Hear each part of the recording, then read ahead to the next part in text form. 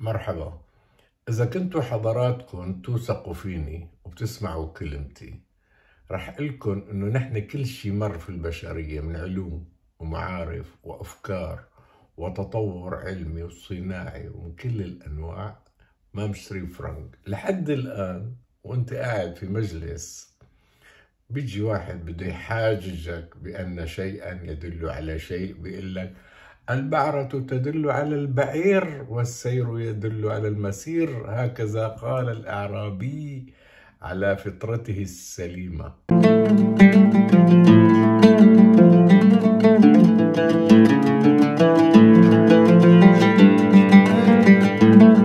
تعالوا نناقش هذا الكلام بهدوء. أولا البعرة وجودها في المكان في الأرض لا يدل على أنه هم بعير مر. ابدا. ليس قطعيا إنه إذا شفت بعر إنه في بعير مر. لنفرض واحد في الصحراء كان له هواية بجمع البعر تبع الأباعر. أو مو هواية بده ياخده يجففوا ويستخدموا للوقود مثلا. كانوا يوقدوا عليه. هذا الروس كانوا يعملوا منه جلة. الناس عنا يعني في بلادنا جلة هيك راس طب شو يعملوه يوقدوا فيه يعني للنار. وهذا حاطهم بخرج تبع الحمار ورايح ياخذهم على البيت بعرات اللي لمهم هو جمعهم وياخذهم على البيت في طريق معين. فصاروا الخرج مبعوجي ويهر البعر منه هو ماشي. لوصل على البيت. فهون هذا درب البعر لا يدل على مرور بعير. ثانيا الآن أنت هاي اللغة اللي تستخدمها. عيد تستخدمها الآن. يعني أنت إذا قاعد مع ناس أجانب أو يعني مثقفين أو سويسريين المان دنماركيين شلون بدك تترجم له إنه البعرة تدل على البعير؟ أنت كمان بدك تقنعه بالحجج تبعك. يعني بدي أقول لك شو البعير قبل؟ مو قبل شو البعرة شو البعير؟ بدك تقول له هو الجمل. بقول لك شو هذا الجمل؟ أنا سمعان فيه بس ماني شايفه. وبعرته تدل عليه يعني ما بيفهم الحالة أو السالفة. ومو بس هدول يا رجل أولادنا نحن هلأ وأحفادنا ما بيعرفوا. لا البعرة ولا البعير لأنه إلا سكان الصحراء الأوائل القدامى هن اللي بيعرفوا هذا هاي اللغة وهذا الحكي وهاي الأمثلة وهاي الدلائل. وبيقول لك اللي بيستدل بهذا المثل إنه هذه قالها الأعرابي والأعراب عندهم فطرة والفطرة يا لطيف شد ذكيه تصور إنه نحن نستدل بواحد ما عنده لا ثقافة ولا علم ولا فهم ولا شيء بس قال عنده فطرة. يا رجل الناس كلهم بينولدوا متساويين بالذكاء ولكن الإنسان يحصل من العلم خلال سنين حياته شيء كثير. هذا ما بنقول هذا على الفطرة. أما هذاك اللي ما حصل شيء أبدا كيف أنت عم تخاطب الناس اللي محصلين علم على هو اللي محصل جهل إنه ما عمل شيء في حياته ولا تعلم شيء إنه هو على الفطرة خيو قال الحقيقة. وما هي الحقيقة التي قالها الأعرابي؟ هاي اللي بيضربوا فيها المثل هذا. هذا الأعرابي قال سماء ذات أبراج وأرض ذات فجاج. ألا يدل هذا على الخالق؟ يا سيدي لا. لا يدل على الخالق. على إنه الإيمان بالله. إذا أنت شفت سماء وشفت سماء إلى أبراج وشفت أرض إلى فجاج يعني جبال وديان هاي يسموها الفجاج لا يدل على الخالق. الخالق يدل عليه شيء واحد. أو الوصول إلى الخالق يدل عليه شيء واحد هو الإيمان بالغيب.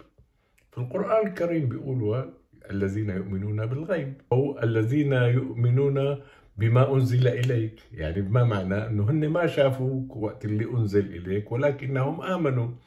طبيعة الإيمان طبيعة غيبية. فإذا بتقلي ليك هاي السماء تدل على الخالق؟ بقول لك تدل على الخالق وقد تدل على عدم وجود خالق. فنحن ما لازم ندخل حالنا هن اللي عم يحاججوا بهذا الموضوع. ما لازم يدخلوا حالهم بهاي المتاهة.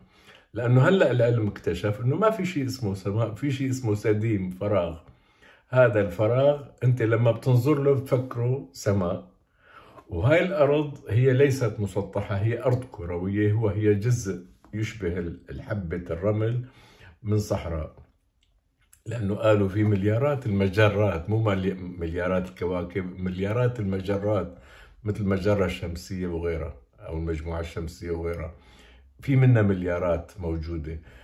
فإذا أنت مصر على أنك تثبت أنه في آه، آلهة أو إله وتعبده اعبده بدون ما بدك ما بدك كل هاي التفاصيل. يعني أنت عم تجي تستدل بشيء مسطح. البعرة تدل على البعير على أمر عظيم هو وجود الله.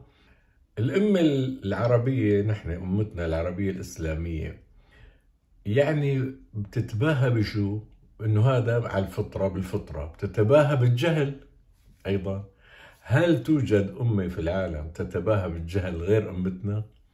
بيقول لك أفعالنا تزن أحلامنا تزن الجبال رزانة يعني عم تباهى هون بالعقل ويفوق جاهلنا فعال الجهل أو تخالنا جنا إذا ما نجهل في بيتين واحد هيك وواحد هيك. الأحنف ابن قيس وأقسم ابن صيفي هدول حكماء العرب في الجاهلية أكثر اثنين حكماء في العرب.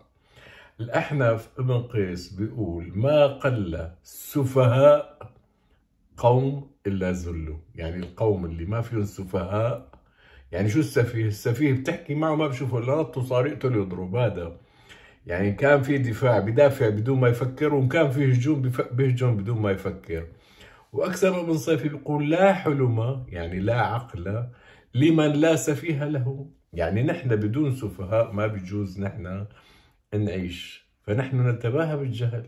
الفجور العلم في العصر الحديث صار له قيمة كبيرة. يعني صار الناس يعني اللي عنده علم يقول والله أنا عندي ما شاء الله طلع عندي ثلاث شباب كلهم خريجين جامعات. هيك صار هلأ يعني العصر الحديث في ناس صارت تتباهى بالعلم وهذا شيء جيد جدا. يعني لدرجة أنه تصور كان في فخري البارودي هذا من زعماء البلد في الأربعينات والخمسينات في سوريا.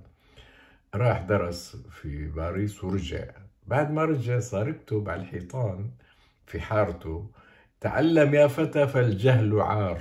لمين عم بيقول هذا الكلام لناس بيعتبروا العار فقط حصرا إنه إذا في عندك امرأة في العيلة آه، طبيعية يعني مارست آه، حياتها الطبيعية آه، عملت نفس الشيء اللي بيتباهوا فيه الجهال. الجهال بيتباهوا إنه هو زير نساء إنه والله عامل ورايح وجاي وعنده صاحبات وعنده كذا.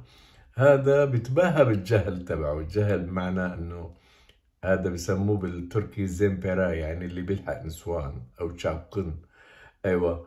فهذا يتباهى نحن عندنا في كل حتى في ناس بتقعد بتكذب في شباب كانوا يقعدوا يكذبوا يألفوا من عقلهم إنه أنا شفت فلاني ورحت وأخذت كذا. وايام أساءوا لسمعت بنات بقصة يجيبوا سيرتهم إنه أنا هاي بتعرفني وهي كذا. ويكون هذا الكلام كذب. إذا نحن نتباهى بهاي الفروسية بالفحولة بالما بعرف إيش وإذا كان مرأة أي مرأة في العيلة عملت شيء تقتل لإيش؟ لأنه يمست بالشرف. يعني ولذلك جلبت لعائلتها العار. فتصور أنه فخر البارودي يقول الجهل عار وهذا قمة الروعة منه من فخري طبعا أنتم بتعرفوا كان فخري البارودي في الأربعينات كان عنده في دمشق معهد موسيقى هو اللي اللي أطلق على صباح أبو قوس المطرب الكبير أطلق عليه لقب صباح فخري على اسمه فخري البارودي. فيا سيدي الجهل عار واللغة التي نستخدمها اليوم يجب أن تكون مختلفة. لسه قاعد في هذا بكسب واحد تقول له الرويبضه تعال ترجم له شو يعني الرويبضه